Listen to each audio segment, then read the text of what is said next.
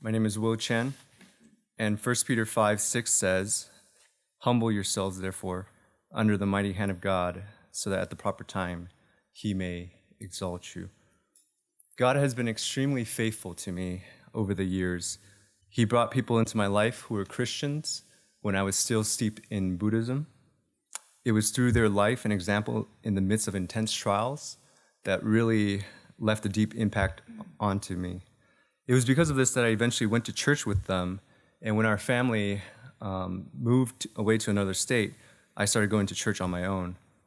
But it wasn't until my junior year of high school when I understood the gospel, saw myself as a helpless sinner before God, and finally believed in Jesus Christ. From then, my life became, began to change slowly, and God continued to bring Christians into my life to disciple and to teach me truths about Christ, about God, and Scripture. And it was my freshman roommate who introduced me to the doctrines of grace uh, and Reformed theology and John MacArthur and um, everyone else. So it was from this grand view and glorious understanding of a sovereign God and mighty Lord and uh, mighty Lord and Savior Jesus Christ that I was compelled to preach and to share the gospel on campus. It was from here that I had a longing to do missions.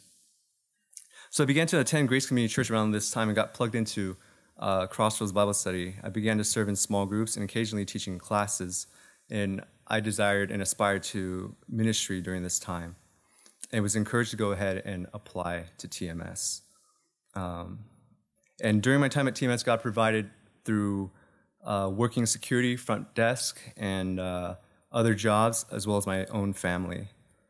But I entered seminary thinking I was someone I was not. I was unaware of how spiritually immature I was.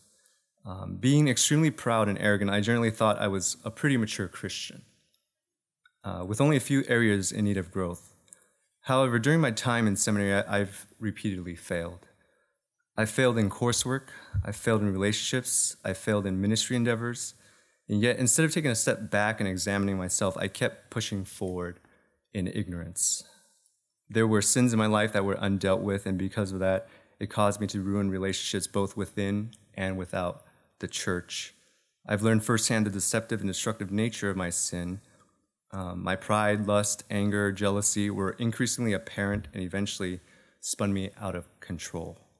And instead of pursuing God on any relationships within the church, I decided to be more aloof and independent to my own peril. So during my time here, I was learning great truths about God, about Scripture, and about Christ.